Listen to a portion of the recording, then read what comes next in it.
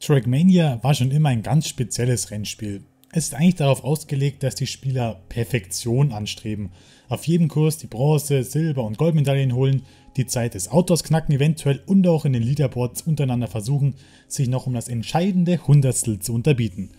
Es ist eine Art Wettkampf, der einfach süchtig machen kann. Manchmal frustriert er zwar auch ein wenig, wenn man nach einer nahezu perfekten Runde noch irgendeinen so dummen Fehler begeht, und dann mehreren Anläufen danach erneut scheitert und am Ende gar nicht mehr so weit kommt, wie man davor eigentlich war. Aber dann ist immer wieder dieser Kick da und man versucht es immer wieder neu und macht immer wieder einen neuen Anlauf und wieder und wieder und immer weiter. Eigentlich kann man sagen, ist Trackmania perfekt für Einsteiger.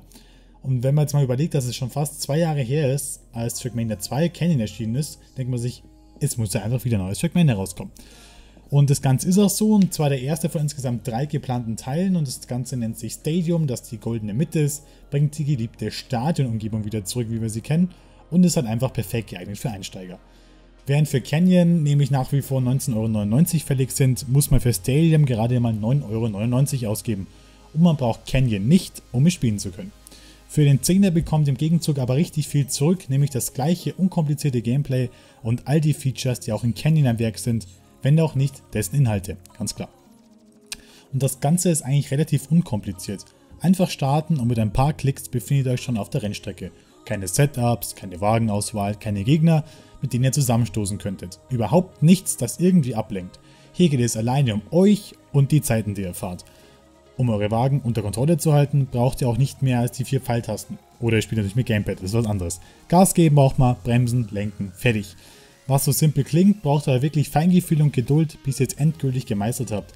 Das werdet ihr wissen, wenn ihr schon selber frühere Trackmania-Teile gespielt habt, dass man da wirklich mit den einzelnen Fingerhaltungen wirklich, wirklich einiges an Zeit rausholen kann. Wie nehme ich jetzt die Kurve am besten? Wie viel Gas gebe ich beim Sprung? Wirklich kleinste Entscheidungen können eure Zeit entweder ruinieren oder euch womöglich ganz nach oben befördern. Doch um auf einer Strecke gleich im ersten Anlauf die Bestzeit abzuliefern, müsst ihr schon sehr viel Glück haben und ja, eigentlich, ja, wie gesagt, ein Glückspit sein, weil es ist wirklich sehr schwierig.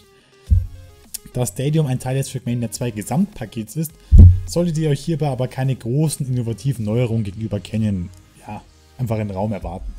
Dementsprechend beschränken sich die Ergänzungen unter anderem auf 4, äh, 54 oder wie viel sind es? 65, genau, 65 vorgefertigte Strecken, die euch zur Jagd auf die Bestzeiten einladen.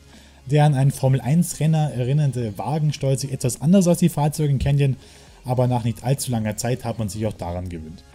Das gilt auch für die verschiedenen Untergründe, etwa den Asphalt, der eurem Fahrzeug eine gute Bodenhaftung beschwert, während ihr auf dreckigem Boden oder Grasflächen deutlich mehr durch die Gegend rutschen werdet. Selbstverständlich, wie in jedem Trackmania, bekommt ihr auch neue Bauteile für den integrierten Editor. Nutzt dort die vorgefertigten Stadium-Teile, etwa den Zeppelin und die üblichen Loopings sowie diverse weitere Streckenteile oder benutzt einfach für jedes Element eigene Texturen, um eurer Strecke einen einzigartigen und persönlichen Look zu verleihen. Es stehen euch jedenfalls viele Möglichkeiten zur Verfügung, die verrücktesten Strecken zusammenzubasteln, was die Community momentan auch fleißig tut. Nadeos eigene Werke sind meist nur ein kleiner Vorgeschmack auf das, was euch von Seiten der Spieler erwartet. Und es lohnt sich immer wieder, einen Blick auf neue Kreationen zu werfen. Gleichermaßen ist dadurch natürlich der Nachschub an neue Strecken für eine ganze Weile gesichert auf denen ihr dann wiederum versucht, die Bestzeit zu knacken.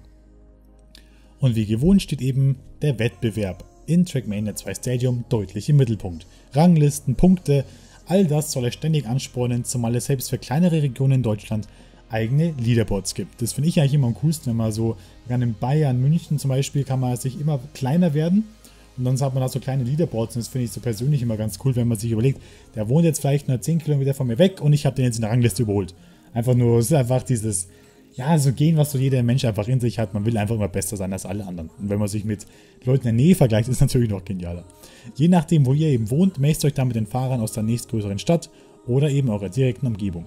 Das Spiel selber ermutigt euch stets dazu, euch noch weiter zu verbessern, indem ihr etwa die Ghost-Fahrzeuge der jeweils nächstbesten Zeit oder eines menschlichen Spielers seht, der gerade zu überbieten versucht. Wenn ihr euch davon ein paar Tricks abschaut, steht ihr womöglich bald selbst weit oben in der Rangliste. Trackmania 2 bleibt auch mit Stadium ein Rennspiel, das sich vor allem an diejenigen richtet, die bereit sind, für die Bestzeitstrecke um Strecke zu perfektionieren. Eine Hundertstel Sekunde ist da immer drin und gerne im Wettbewerb mit anderen. Wenn das nichts für euch ist, werdet ihr wahrscheinlich mit dem Spiel nicht viel anfangen können. Es dauert ein wenig, bis ihr Trackmania 2 gemeistert habt, aber gleichermaßen eignet es sich auch für eine oder andere schnelle Runde zwischendurch, wenn ihr einfach mal Bock und Lust drauf habt. Und dank des Editors und der treuen Community ist ständiger Nachschub garantiert. Oder bastelt ihr euch einfach selbst. Falls ihr bis jetzt die Finger davon gelassen habt, könnt ihr hier wunderbar in Trackmania 2 einsteigen. Und Fans bekommen genügend neue Inhalte, die die 10 Euro rechtfertigen. Kurz gesagt, viel Spaß für wenig Geld. Es lohnt sich einfach. Was noch dazu kommt, ist Trackmania 2 Rally und nachdem ihr nämlich dann eure 10 Euro ins Stadium investiert habt, könnt ihr euch noch zusätzlich Trackmania 2 Rally besorgen. Beide Pakete wurden parallel entwickelt und mehr oder weniger zur gleichen Zeit fertiggestellt und im Grunde bietet Rally eigentlich auch genau die gleiche Zahl an Art und neuen Inhalten, aber kostet interessanterweise 19,99 Euro. Die Frage ist dann natürlich, warum? Mir persönlich fällt kein Grund dafür ein, weil es, wie gesagt, zu Stadium kein großer Unterschied ist in Sachen Inhalt und Content. Inhalt ist das gleiche wie Content. Das habe ich jetzt natürlich auch gerade gemerkt. Es ist eher so eine neue Ländlichkeit, eine Gegend, in der der Fahrt, die mehr einem Rallye-Setting entspricht, würde ich sagen. Ein neues Fahrzeug und ein entsprechend Rallye-artiges Handling für dasselbe eben, mit dem man halt natürlich erstmal zurechtkommen muss und sich reinfinden muss. Es sind kleine Unterschiede, aber wenn ihr glaubt, euren Wagen genauso eine Kurse steuern zu können, wie es etwa aus Stadium gewohnt seid, liegt ihr falsch. Besonders abseits der Piste, wenn ihr jetzt zum Beispiel im Dreck mitten durch die Wälder geht, ist viel Fingerspitzengefühl und Übung gefragt damit ihr euren Wagen perfekt um die Kurven bringt. Aber wie gesagt, rund 60 vorgefertigte Strecken, ein unterschiedliches Handling des neuen Fahrzeugs und eine neue Umgebung mitsamt passender Streckenteile bekommt ihr auch günstiger mit Stadium.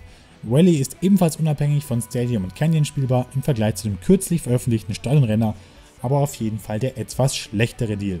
Und dennoch macht auch Canyon trotz allem Spaß und fordert euch einmal mehr zur Perfektion heraus. Schlechter als Stadium und Canyon ist Rally also keineswegs, der Preis hinterlässt nach dem günstigen Stadium aber dennoch einen faden Nachgeschmack.